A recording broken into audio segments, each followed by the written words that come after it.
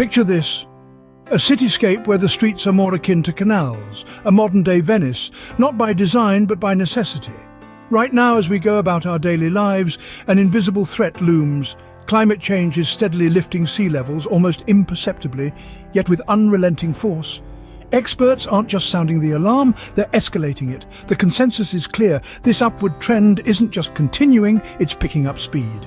Envision thousands of urban areas, the heartbeats of millions, perched precariously by the coast. They stand as front-row witnesses to a creeping transformation, a silent invasion of water reshaping their existence. For countless individuals, this isn't a dystopian scene from a future novel, it's the stark reality of their here and now. In the far-flung polar realms, a story unfolds in silence. These majestic titans, the polar ice caps and glaciers, stand as unwitting victims in the saga of global warming. Their rapid demise, unnoticed by many, is a stark reality. As they relent to the rising temperatures, a deluge is set free, swelling our oceans. But there's more to this narrative than just ice. Beneath the waves, a subtle yet profound transformation is underway. Our oceans, absorbing heat, are swelling, a process known as thermal expansion. This unseen force is as pivotal as the melting ice in the tale of our encroaching seas. Together, the dwindling ice giants above and the expanding seas below are redrawing the very map of our world. The ongoing thaw and the warming waters don't just impact the polar outposts. Their ripples are felt worldwide. These distant icy sentinels and our own expanding oceans are not just global issues, they're knocking at our doorstep, altering landscapes we call home. Imagine a world where our beloved coastlines, once the pride of our cities, are now battlegrounds against an encroaching sea. The rising waters, once dismissed as a distant concern, are now reshaping our reality, relentlessly redrawing our maps, and not to our advantage. Picture the heart of your city, your favourite spots, now facing a watery siege, not as a rare event, but as a recurring nightmare. But the story doesn't end with floods.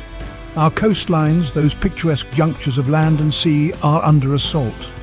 The ocean, in its inexorable push, is redefining landscapes, menacing our infrastructure, and in tragic instances erasing entire areas from existence. Yet the most heart-wrenching aspect lies in the human toll. Communities steeped in history and memories find themselves uprooted, compelled to abandon their ancestral homes and redefine their identities. Our coastlines, as we cherish them, are undergoing a metamorphosis. In response, so must we. It's a call to adapt, to rethink our relationship with nature, and to steel ourselves for a future that's already at our shores. From the sinking beauty of Venice's canals to the vulnerable deltas of Bangladesh and the beachfronts of Miami, a global battle rages against the rising tides. Each city, each community confronts its own set of trials, but they are united in a common struggle against a relentless foe, the unyielding advance of the sea. Let's journey to Venice, Italy, a city synonymous with canals and historic splendour. Long battling subsidence, Venice now contends with an even more formidable opponent, escalating sea levels. In response, Venice has turned to modern marvels like the MOSE project, an ambitious system of movable barriers aimed at holding back the high tides. This engineering feat symbolizes human resilience and innovation in the face of environmental challenges. Yet it's also a powerful reminder of the pressing need for lasting solutions. Next we explore Bangladesh, a nation perpetually at odds with flooding. Here, rising seas are not a looming threat, but a present reality. With a significant portion of the country just a few meters above sea level, the Bangladeshi people are at the forefront of climate change. Their strategies are as diverse as their challenges. Floating schools navigate the waters, while mangroves are cultivated to serve as natural defences. Their indomitable spirit is awe-inspiring, yet the scale of their challenge is a sobering indicator of what lies ahead. And then there's Miami, with its pulsating nightlife and iconic beaches. Yet, beneath its glittering surface, Miami grapples with a grim reality. Built on porous limestone, it's acutely susceptible to sea level rise. The city's response involves pouring billions into infrastructure, elevating roads, installing sophisticated pump systems. These necessary measures underscore the staggering costs and complexities of adapting to our changing climate. In each of these cities, the struggle is unique, yet the fight is universally shared. Be it through technological innovation, adaptive strategies or infrastructural overhaul, these urban frontiers showcase the human capacity to confront and adapt to our evolving planet. Their stories are more than isolated tales of resilience, they are a collective clarion call for action. The rising seas respect no borders, and our efforts to address them must be equally boundless. In this epic confrontation with rising seas, our most formidable ally is our own resourcefulness. As we voyage through these choppy waters of change, it is our collective creativity and forward thinking that blaze the trail.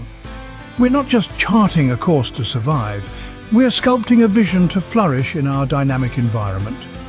Consider the Netherlands, a nation historically at odds with the sea, now a pioneer in water management.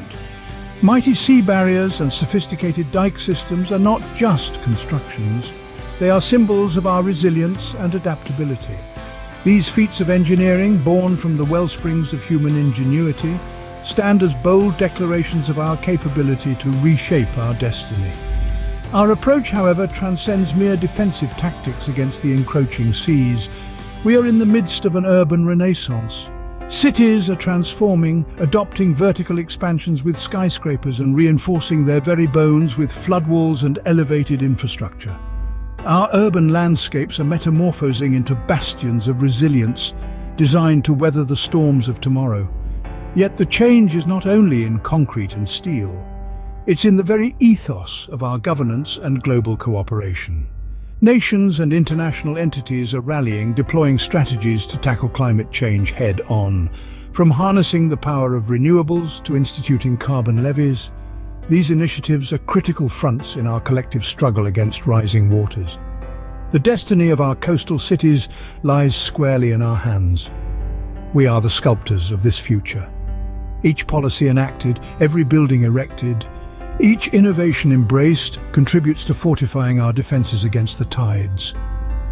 The fate of our coastal metropolises is intertwined not just with the whims of the oceans, but with the vigour of our actions. The tides are rising, but so too is our determination. Our coastal jewels, bustling with life, rich in culture, face a daunting challenge, yet we are far from defeated. In our arsenal, we have the spark of innovation, the resilience of our communities, and the power of united resolve. Together we can forge protective barriers, sculpt cities that bend but don't break, and enforce policies that turn the tide against climate change. We have the power to educate, to advocate, and most importantly, to act. Remember, every small step contributes to a giant leap. Each energy-saving bulb, every item recycled, each vote cast for green policies, collectively they create a groundswell, a counterwave to the rising seas. This battle is about recognizing the symbiosis between the well-being of our planet and the choices we make daily. It's about transcending apathy and inertia.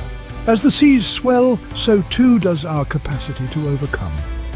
It's about rising above complacency, above indifference. The seas may rise, but so too can we, for the sake of our cities, for the legacy of our future.